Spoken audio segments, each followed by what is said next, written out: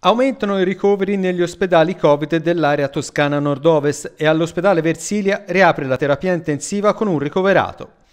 I numeri del report settimanale dell'azienda AS Toscana Nord-Ovest parlano di un calo generale dei contagi, passati dai 1360 della settimana che andava dal 24 al 30 agosto ai 913 degli ultimi sette giorni, di cui 247 nella nostra provincia, 142 nella Piana, 13 in Valle del Secchio e 92 in Versilia.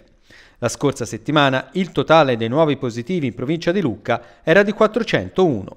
A fronte del sensibile calo di nuovi contagiati, sono però aumentati i posti letto occupati nelle terapie Covid. All'ospedale San Luca di Lucca i ricoverati sono 28, di cui 5 in terapia intensiva, mentre al Versilia sono 11, di cui uno in terapia intensiva, reparto che fino alla scorsa settimana era rimasto in stand-by, ma che si è reso necessario riattivare. In merito alle vaccinazioni, nell'area della piana la percentuale di persone che hanno ricevuto almeno una dose di vaccino è dell'80%, percentuale che sale all'81,6% in Valle del Serchio e all'81,8% nella zona Versilia.